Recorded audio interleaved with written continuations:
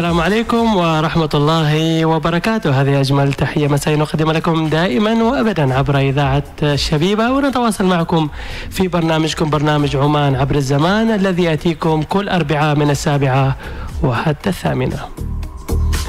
تحية لكل الأحبة وتحية لكل المشاهدين الكرام الذي يشاهدون عبر يوتيوب الشبيبة وحسابات الشبيبة في تويتر والتواصل الاجتماعي.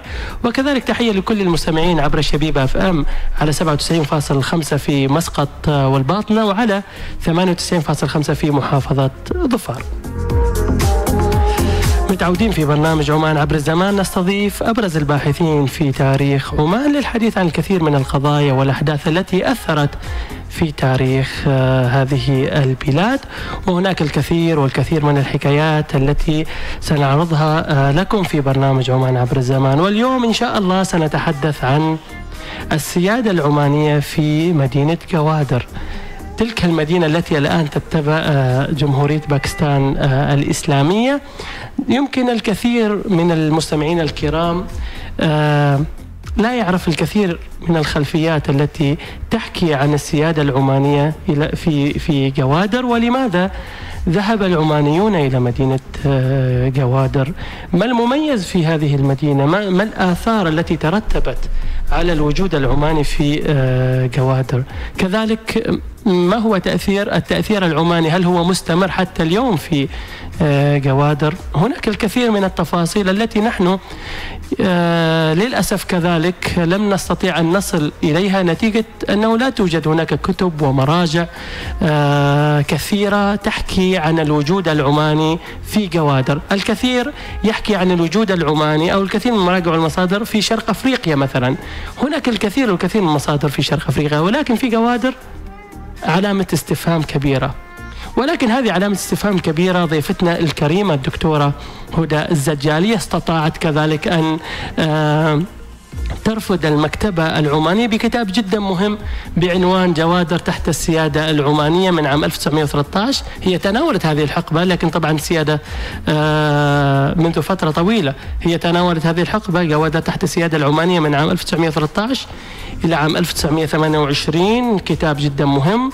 وخلونا يعني جميعا نرحب بضيفتنا الدكتورة هدى بنت عبد الرحمن الزجالية. دكتورة هدى مساك الله بالخير وسعيدين جدا بتواجدك معنا عبر إذاعة شبيبة. النور هلا أستاذ نصر وأنا أسعد تواجدي معكم إن شاء الله. تحياتنا لك وكتاب مهم آه، جدا ويعني يمكن بسبب آه، آه، تقصيري لم أطلع هذا الكتاب سابقا وأنا أعتقد بأننا نحن نعاني في المكتبة العمانية من شح المصادر والمراجع التي تحكي عن كوادر. لماذا ذهبت إلى كوادر؟ لماذا ركزت على الوجود العماني في جوادر في جوادر دكتورة هدى؟ أه والله قصة جوادر تبدأ معي على اعتبار إنها كانت بداية رسالة الماجستير بالنسبة إلي. نعم. فربما كان الموضوع هو أساسا يعني فرض علي فرضا من قبل المشرف اختار لي هو هذا الموضوع. وأنا يعني اليوم إذا كان فعلا كلمة شكر أنا أشكرها لهذا الرجل. أه الأستاذ الدكتور خالد السعدون أه بجامعة الشارقة. فاختار لي هذا الموضوع وأنا في البداية كنت يعني مترددة بحكم إنه مثل ما قلت أنت آه، ليس هناك مراجع نهائيا يعني متكاملة تتحدث عن جوادر. نعم. فأنا بدأت من الصفر حقيقة في البحث عن جوادر وأنا أعتبرها بحث عن هذه المدينة الحاضرة المفقودة. الحاضرة المفقودة. المفقودة لماذا المفقودة؟ لا في كتب التاريخ. نعم مثل ما قلت يعني هناك ثغرة في التاريخ العماني في بعض المواضيع الهامة التي يجب أن يتطرق إليها الباحثين. منها موضوع جوادر. ربما لاعتبارات سياسية الكثير يتحرج أن يكتب في بعض الأمور كموضوع جوادر ربما. ولكن يعني وجدت بعد بحث مطول في هذا الأمر إنه بالعكس يعني لابد أن نبحث عن هذه الحلقات المفقودة لأنه عندنا حلقات أخرى لن تكتمل. نعم. فكانت البداية هي رسالة الماجستير يعني. فهذا الكتاب هو ثمرة رسالة الماجستير اللي بدأتها آه، عام 2005 بجامعة الشارقة. نعم نعم. واجهت أكيد صعوبات أكيد يعني هي صعوبات آه، كثيرة جدا خاصة مسألة البحث عن هذا الموضوع. على اعتبار آه، ليس هناك مراجع حاضرة في المكتبة العمانية ولا في المكتبة العربية. آه، فالبحث راح يكون مركز في الوثائق خاصة الوثائق الأجنبية وأقصد بها الوثائق البريطانية بشكل خاص يعني آه، أضف إلى ذلك أن هناك الكثير منها غير منشور مما يحتاج أن إحنا نرجع إلى آه، الأرشيفات ومراكز الوثائق سواء كان في بريطانيا أو في الهند أو في أماكن متفرقة حتى منطقة بلوچستان. نعم فالأمر يعني كان معقد نوعا ما في البحث والمعرفة عن هذا الموضوع.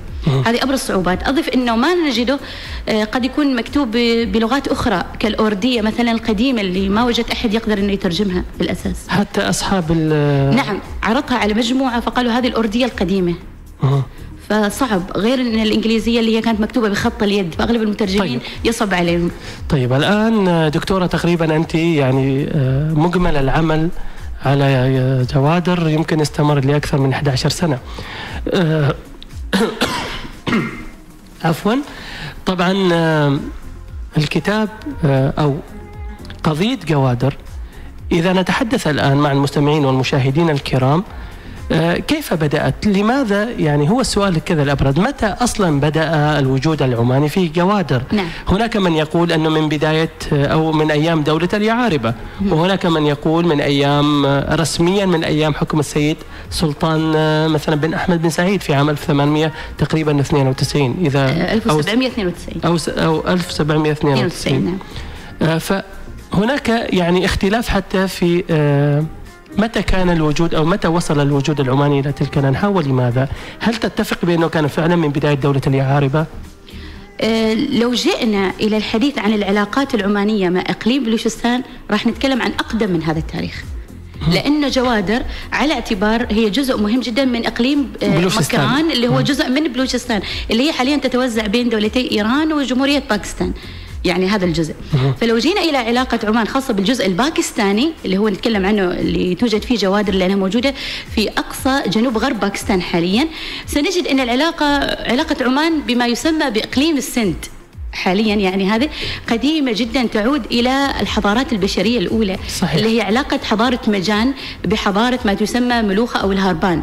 وهذه عمرها آلاف السنين وكل المعثورات الأثرية اليوم تؤكد على وجود علاقة وثيقة حضارية ولنقل اجتماعيه في هجرات ربما في تلك الفترات حصلت أيضا. ما بين عمان و نعم وهذه يعني حضارات السند بلاد السند السند فعلا اللي هي جزء منها حاليا. والدليل على ذلك وجود أعراق بشرية جاءتنا من هذه المناطق اليوم هي موجودة في عمان وفي الخليج. يعني من أبرزها اللي هي قبائل البلوش الموجودة عندنا نعم، حاليا نعم، نعم. وغيرها وغيرها يعني عشان اذا هذا الامتداد امتداد يعني عمره آلاف جداً. السنين آلاف السنين والمكتشفات الأثرية تثبت نعم في رأس الحد في رأس الجنس وغيرها تؤكد على هذا الكلام نعم صحيح خاصه ك- كمنطقة ممتدة هي منطقة بلوچستان حاليا نعم، خاصة نعم. وادي السند آه، لكن لو جئنا إلى الناحية السياسية و آه، ظهور عمان سياسيا في هذه المنطقة بشكل ملموس يبدأ مع دولة اليعاربة فعلا. من خلال استعانتهم بفئات معينة هناك كالبلوش كمدد عسكري. نعم. خاصة في موضوع أنت عارف عندنا نزاعات كثيرة في تاريخ عمان حصلت داخل عمان فتطلب منهم الاستعانة بمدد آخر خارجي وخاصة من هذه المنطقة آه، لتثبيت السلطة في عمان نعم. من ناحية حتى في خارج عمان كشرق أفريقيا وغيرها. حتى مع البرتغاليين كانوا أيضا مع يقاوموا مع العمانيين البرتغاليين نعم. يعني ففي عمان في داخل عمان وخارج عمان استفادت دولة اليعاربة وخاصة أيام آه، سيف بن سلطان. قيد الأرض. نعم. استفاد منهم داخل عمان وخارج عمان. مثلا في شرق أفريقيا. في شرق أفريقيا خاصة منطقة مومباسا في تحرير قل... في تحرير قلعة مومباسا وحتى تذكر كتب التاريخ آه، كالشيخ سعيد المغيري وغيره آه، قصة آه، القائد الجمعدار شاه البلوش الج... الجمن ال- الجمعدار. الجم... الجمعدار. أيوه نعم. يطلق عليهم هذا اللقب. اللي هم جمعدار البلوش. القادة. يعني. هم يعني ممكن نشبههم بالضباط اليوم يعني نعم، نعم. عسكرية. نعم.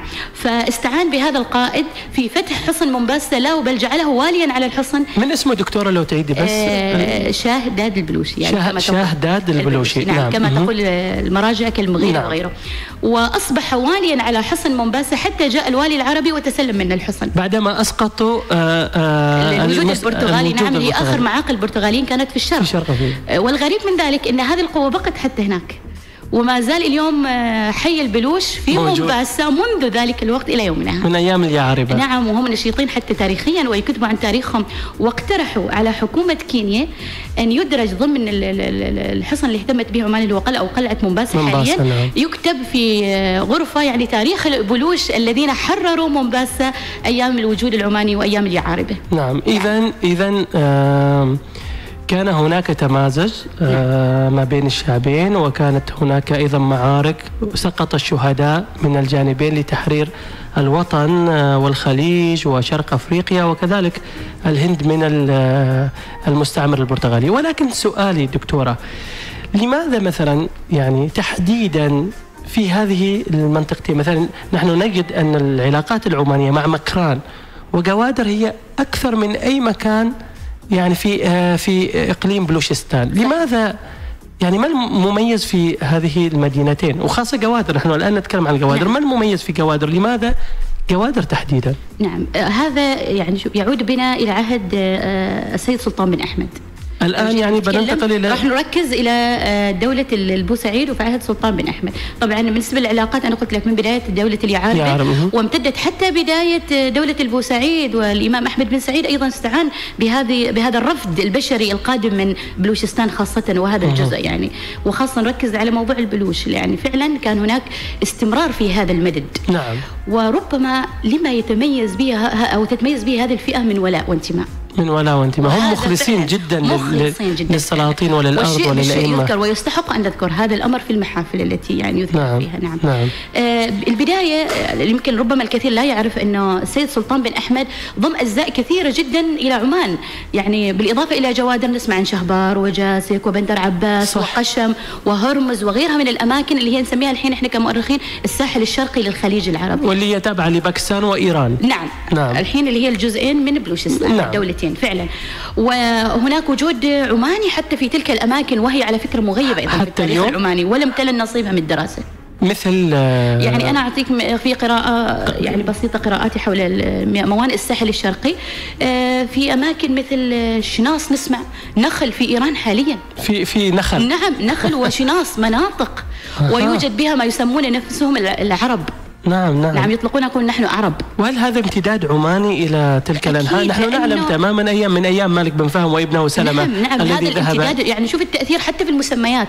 حتى لو جيت إلى القبائل الموجودة هناك وإلى آخر حياة الناس عاداتهم تقاليدهم. عندما نبحث عن الجانب السياسي ربما اليوم لا يعني لا نريد أن نركز سياسيا كثير بقدر ما نركز حضاريا صح. اجتماعيا ثقافيا. هذه التأثيرات المغيبة للأسف حتى في الجانب الافريقي الكل يعني يركز على الجانب السياسي ما أدري ليش.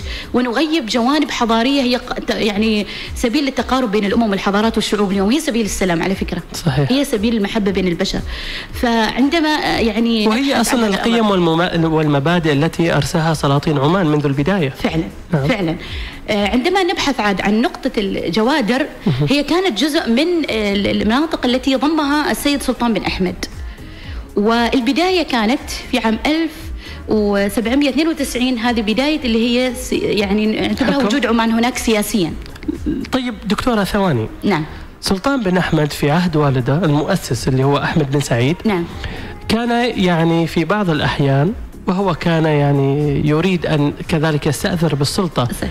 فحدثت الكثير من الإشكاليات. بينه وبين والده المؤسس أحمد بن سعيد وفي مرة من المرات هرب إلى مكران أو إلى جوادر. جوادر بالتحديد. لماذا هرب تحديدا إلى جوادر؟ هذا يدلك بأنه حتى في أيام والده السيد أحمد بن سعيد أو الإمام أحمد بن سعيد نعم.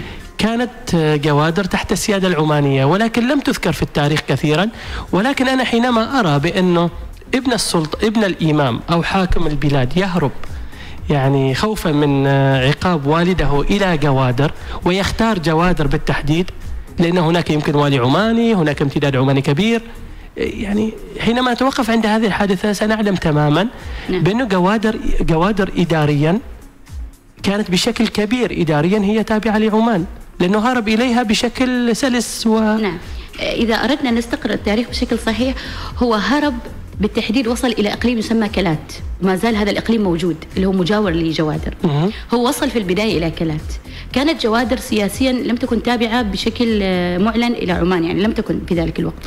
لكن لماذا اختار تلك هو من وجهة نظرك؟ نعم ربما مثل ما قلت لك العلاقات الحضارية الاجتماعية هذه بين المنطقتين أنا أتوقع يعني وعلى اعتبار إن هذه المنطقة يعني كما تقول كتب التاريخ إنها كانت الملاذ لأغلب اللي هم عندهم مشاكل في السلطة مع, مع السلطة نعم. من كان يريد إنه يصل إلى سدة الحكم يمكن عشان بعدها أيضا إنه يلتجئ إلى تلك المناطق. بعدها وقربها يعني وقربها أيضا أيضا. نعم. يعني أقصد البعد عموما البحر نعم نعم يعني نعم بحر عمان نعم. حاليا نعم. فقط يعني نعم مجرد نعم. البحر فيمكن من باب اللجوء السياسي هو راح كأنه لاجئ سياسي على فكرة هناك. نعم. واتجه إلى اللي هو كان في ذلك الوقت اللي هو نصير خان أو ناصر خان حسب اختلاف الروايات حاكم كلات. حاكم كلات نعم ولجأ أه. إلى حاكم كلات. ك... قبل أن يصل إلى سدة الحكم في عمان يعني حتى أصلاً. نعم, نعم طبعا في هذا فتختلف عاد الروايات في موضوع لماذا جوادر أيوة. لماذا نصير خان أعطاه جوادر أهداه جوادر آه، جعله يستقر في جوادر, جوادر. اختلفت الروايات أنت ماذا آه، من خلال هذه الدراسة يا دكتورة ماذا تقولي لماذا نعم. أعطاه جوادر أه حسب روايات أهل جوادر يقولون أنها كانت هدية هدية. هدية لذلك ال ال الأمير العربي أو السلطان العربي القادم من ذلك المكان ليستقر فيه. نعم. هي ما كانت مقاطعة بهذا الحجم على فكرة كانت يعني كما أصغر. في القرن التاسع عشر حتى كانت قرية صغيرة لصيادي الأسماك. يعني العمانيين هم اللي حولوها لمقاطعة بعد ذلك امتدت بهذا نعم. الشكل. نعم. فمثل ما تقول يعني أعطاه مكان يستقر فيه لحد ما يطمئن إلى الأوضاع تكون مطمئنة في عمان ويصل إلى آه، ما يرمو إليه يعني أو يرنو إليه في عمان. طيب. هناك من يقول إنها هدية، هناك من يقول إنها كانت على سبيل الإعارة، هناك اختلافات كثيرة جدا في الرأي. أهم شيء إنه نصير خان أعطى لسيد أعطاه هذه المنطقة إيه ليستقر فيها بعدما إلى أن تهدأ الأمور في عمان. وربما أكبر ما يعني الأمور الأدلة تؤكد هذا إنه بعد أن عاد إلى عمان ووصل إلى سدة الحكم أرسل آه، قائد من قواده يختلفوا فيه هناك من يقول إنه يوسف بن علي هناك من يقول هو سيف بن علي المهم بدون تحديد قبائل ليثبت الحكم العماني على جوادر. وكأنه فعلا موضوع إنها هدية أو المكان أعطي إليه.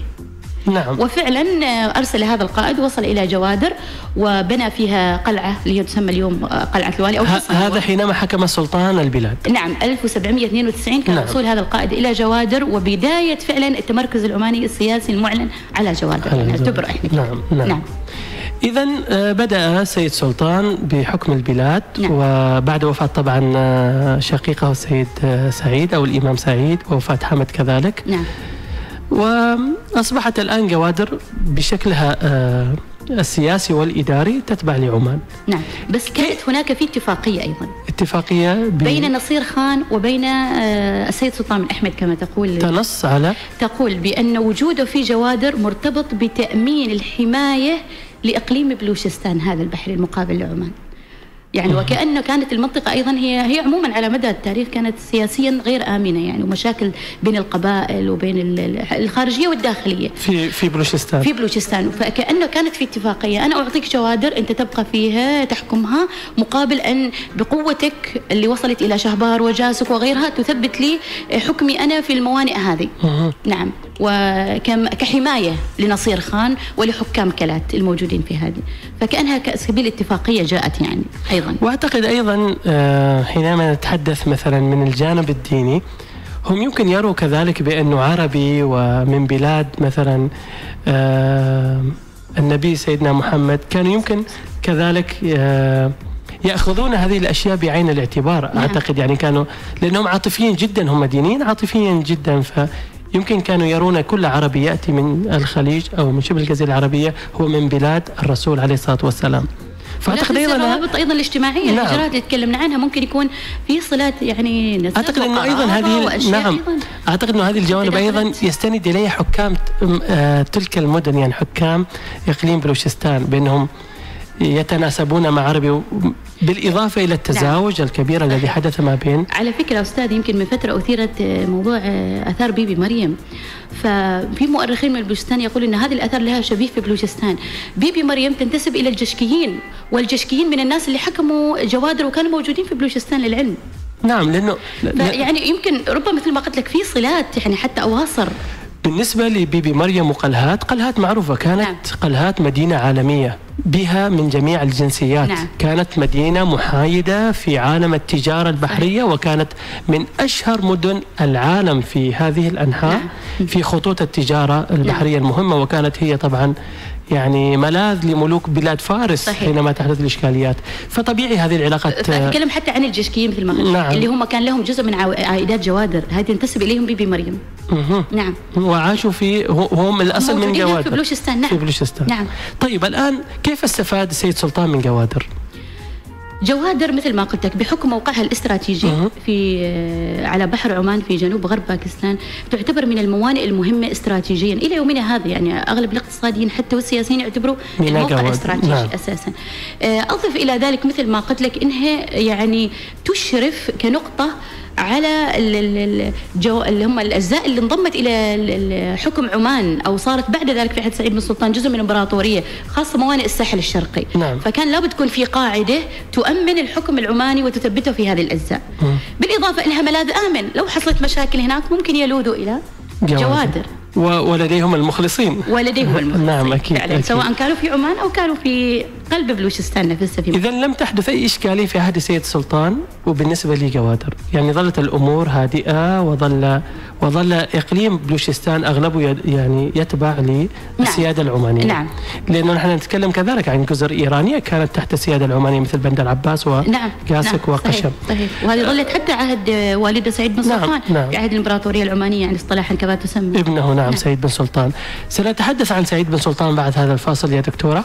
سنتحدث عن سعيد بن سلطان وكيف كانت جوادر ومكانة جوادر في في عهد الإمبراطورية العمانية التي أسسها ابن سلطان اللي هو سعيد بن سلطان. فاصل بسيط وسنعود إليكم إن شاء الله. تحية لكل الأحبة لكل المستمعين والمشاهدين عبر يوتيوب الشبيبة والمستمعين آه، عبر فم الشبيبة 97.5 في الباطنة ومسقط و 98.5 هناك في محافظة ظفار للمتابعين الذين يتابعون كذلك من جوادر نقدم لهم أجمل آه، تحية هناك تأثيرات كبيرة للوجود العماني في هذا الإقليم الذي الآن أو لهذه المدينة التي الآن آه، تعتبر من ضمن الحدود آه، الباكستانية.